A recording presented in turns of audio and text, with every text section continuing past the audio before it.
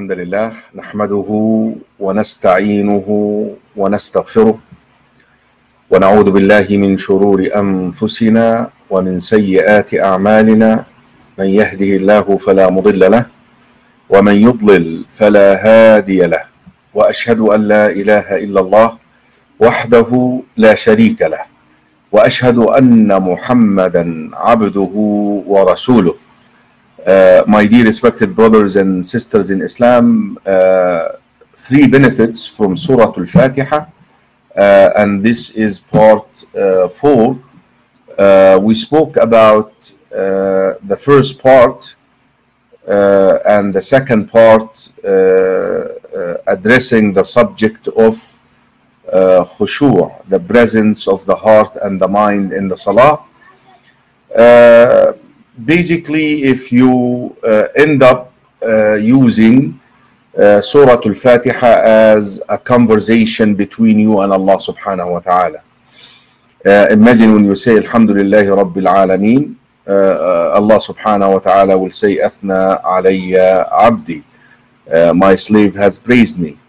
Ar-Rahman Ar-Rahim, Hamidani abdi, I'm sorry. Uh, the first one is Hamidani Abdi, and then Ar Rahman Ar Rahim Athna Alayya Abdi. So every time that uh, you recite uh, a verse uh, uh, from Surah Al Fatiha, uh, Allah subhanahu wa ta'ala responds to you. and this is why we have Athar Umar ibn Abdul Aziz, rahimahullah, that every time he would lead the salah and he would uh, pause after uh, each verse uh, in Surah Al-Fatiha, the, the, the, people would ask him, why would you do that? And he would say, I would like to listen to the response of Allah subhanahu wa ta'ala to me.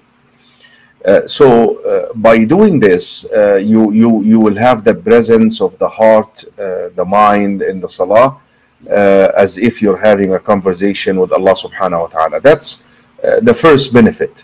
Uh, the second benefit, which we uh, started part three with, is the benefit of Tawheed.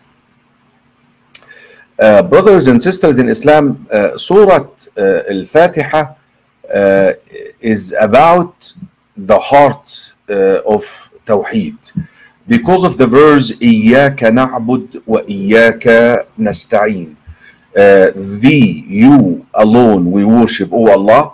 Uh, you alone uh, we seek help in worshiping you. Um, and this is what made a lot of scholars author books about this particular verse. like Manazil Salikin, for example, the stations of the seekers, is a famous book uh, which is written uh, just about this verse. And I shared with you the statement of Al Hasan al Basri, uh, which Imam al Bayhaqi في شعب الإمام في شعب الإيمان compiled it في شعب الإيمان. he mentioned that Allah subhanahu wa ta'ala revealed 104 books and he summed up the knowledge in these 104 books into uh, three books, the Torah, the Gospel, and the Psalms of Dawood. Uh, then he summed up, subhana, all the knowledge in these three books into the Quran. And then Allah subhanahu wa ta'ala summed up all the knowledge in the Quran in Surah Al-Fatiha. And uh, Surah Al-Fatiha was summed up in Surah, uh, in that verse,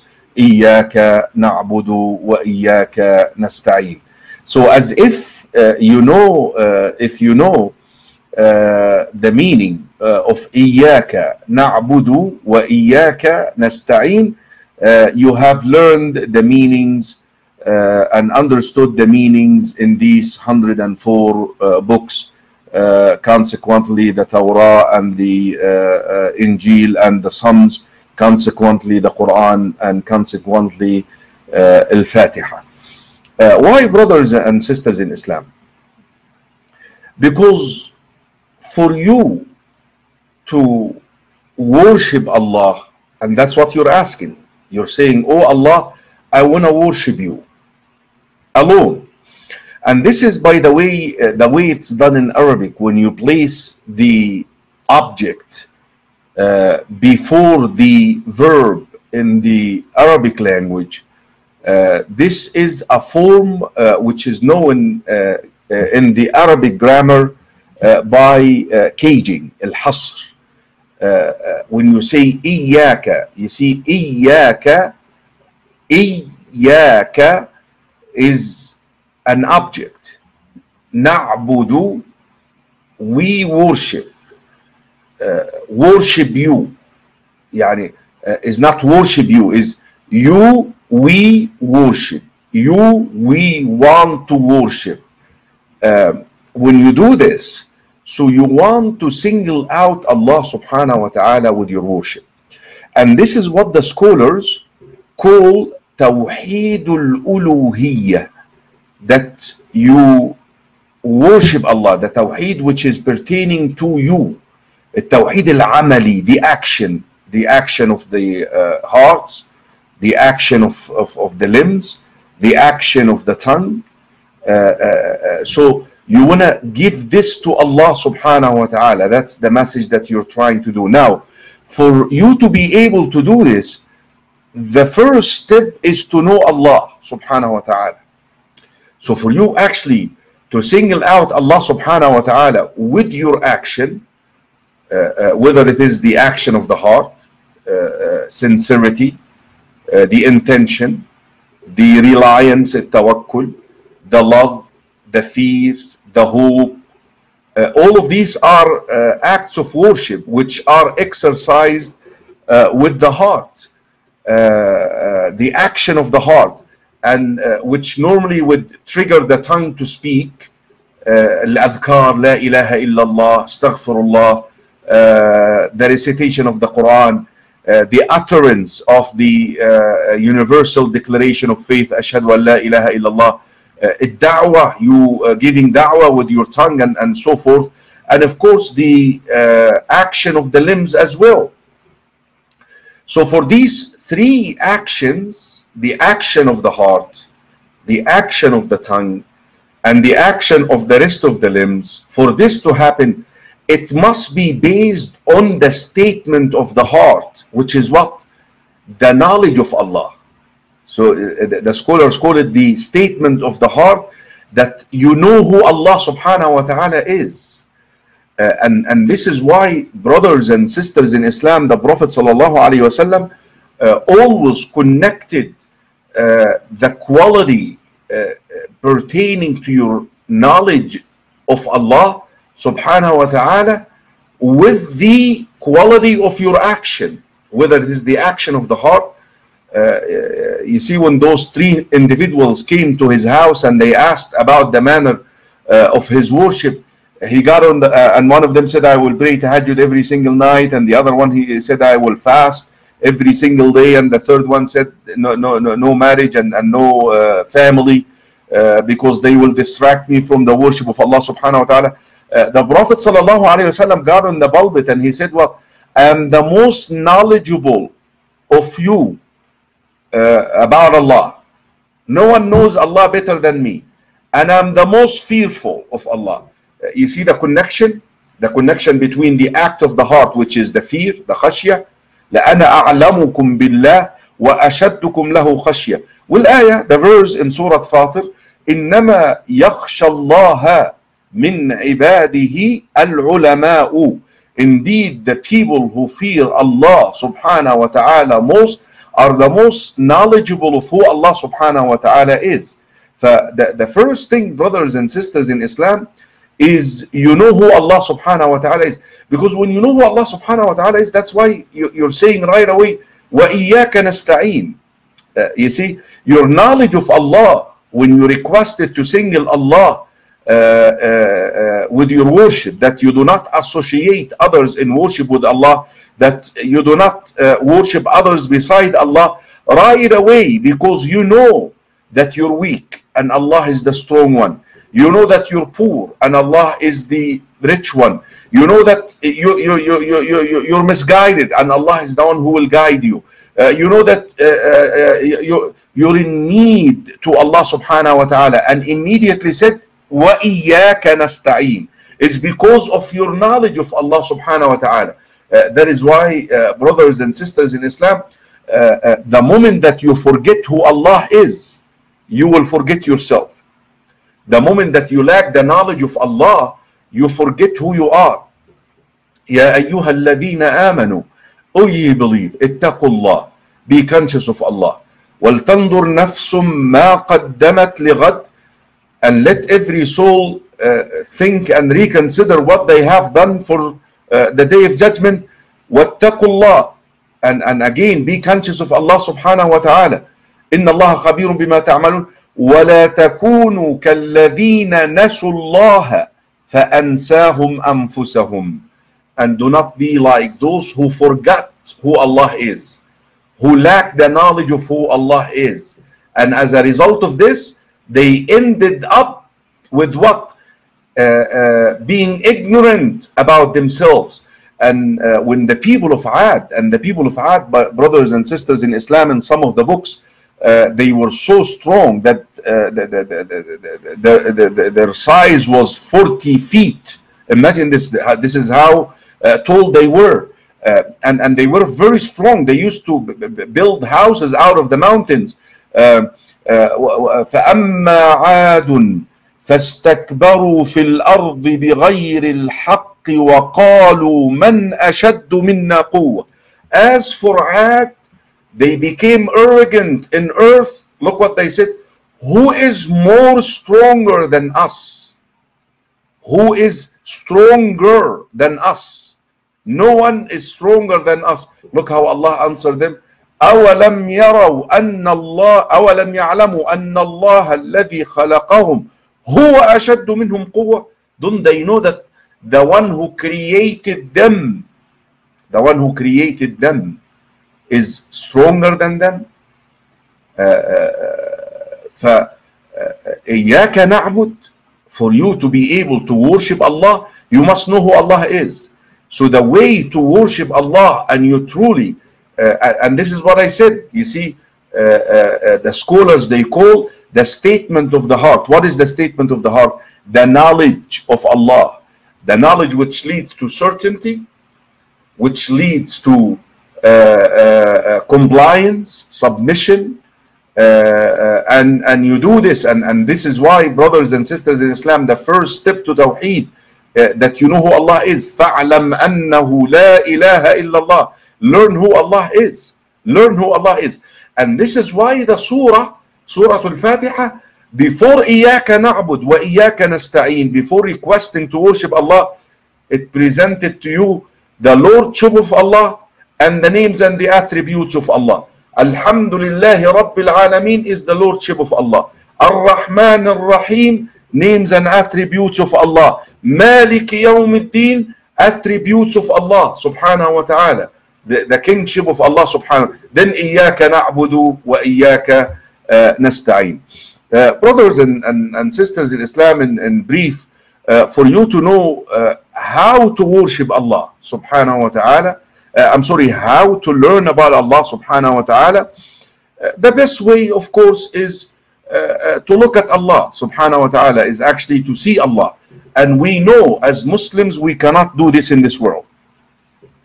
Rasul sallallahu alayhi wasallam, in a context of warning us against the Antichrist, uh, he said to us اعلموا أنكم لن ترون ربكم حتى تموتوا uh, rest assured that none of you will see Allah until you die. Why? Uh, because the Antichrist will come and he will claim that he is Allah. Uh, so the fact that I'm able to see you, this in itself refute uh, the fact that you are uh, Allah subhanahu wa ta'ala. So we cannot see Allah subhanahu wa ta'ala in this world. so the only thing we're left with is al-ayah al-kawniyah wal-ayah al-Qur'aniyah. What is al-ayah al-kawniyah? By looking around you and, and seeing this universe. Who created this universe? أم خلقوا من غير شيء أم هم الخالقون Were they created out of nothing or did they create themselves? The, the, the, you know, uh, who created this world? Who created this universe? Uh, and the Bedouin, when he was asked, how did you learn that there is Allah? He said, listen, uh, uh, the dung of a camel, even though I do not see a camel, uh, tells me that there was a camel here. Uh, when I see that the printing of a feet on the ground, that tells me there was somebody walking here. Uh, now the earth with all these valleys and the mountains, the heaven with all these stars, and and the, the, the seas and the oceans with all these waves. This doesn't tell you that there is a creator. Come on, there is something wrong with you. There is something wrong with you. So the first thing that you look at is al-ayah al-kawniyah. And this is why, brothers and sisters in Islam, we were instructed in many places in the Quran to travel in earth and ponder upon the creation of Allah subhanahu wa ta'ala. أفلم ينظروا إلى السماء فوقهم كيف بنيناها وزيناها وما لها من فروج Have they looked at the heaven above them how we created it and how we beautified it for them and there is no holes there is no breaking breaks in in in, in, in the heaven أفلا ينظرون إلى الإبل كيف خلقت have they not looked at the, uh, the, the camels how they were created so we're, we're, we're asked to, to, to travel and ponder uh, وهذه الآية الكونية this is the uh, ayah the evidence for Allah uh, subhanahu wa ta'ala existence our creation the creation of the things around us uh, but normally out of this particular uh, sign or signs in plural because there are plenty of them you conclude two principles or you deduce two conclusions. You come up with two conclusions. Conclusion number one or principle number one that this universe must be created. Because what is the other options i have? Created itself or uh, created out of nothing. And both no no. So there must be a creator. So this is principle number one. Principle number two the qualities and the attributes of the creator must be way greater than what he created. This is why we say what worship the creator not the created. So if you look at the earth look at the qualities of earth look at the perfection of the sun and the moon. I'm not going to worship the sun and the moon even though the sun and the moon are perfect in, in, in their uh, functionality how they function. But i'm not going to worship them because the attributes and the qualities of the one who made them the one who created them logic this is logic this is making sense must be far greater Jesus, even though he was a wonderful messenger, sallallahu alaihi wasallam, uh, but I'm not going to worship him like Christians do. I'm going to worship the one who created him because he must be far greater than what he created. Now, so this is what you get out of pondering, what you get out of looking around you, and uh, uh you conclude that there must be a creator. This is one. Two, you conclude that the creator must have better, greater qualities and attributes. Uh, uh, no one is like him, no one is equal to him uh, once it comes to his divine essence, once it comes to his name, once it comes to his attributes, once it comes to his actions. And that is why I'm to single him out alone with my with my worship. Now, for me to learn who the creator is and what are his attributes, what are his qualities, I need to look at al-ayah al-Qur'aniyah. I need to look at the revelation. Because like I said earlier that Allah did not enable us to see him. And there is no one else who looks like Allah. That I can go and look and go, this is, looks like Allah. Right? We said that no one is like no one is created is like Allah. So the only way for me to learn about Allah is the names and the attributes of Allah subhanahu wa ta'ala, is his action. And this is why Surah Al-Fatiha, before saying إِيَّاكَ نَعْبُدْ وَإِيَّاكَ نَسْتَعِينَ, it presented to you the lordship of Allah, the actions, the creation, the sovereignty, the fact that he uh, takes care of what he created, he gives life, he gives death, and then the names and the attributes of Allah subhanahu wa ta'ala and then at the end the um, uh, you know the, the fact that he is master of the day of judgment and then subhanallah uh, uh, then you call on, upon Allah saying that you want to worship Allah subhanahu wa ta'ala alone I hope this is clear. جزاكم الله خيرا سبحانك اللهم وبحمدك. I have to uh, pray عشاء. السلام عليكم ورحمة الله وبركاته.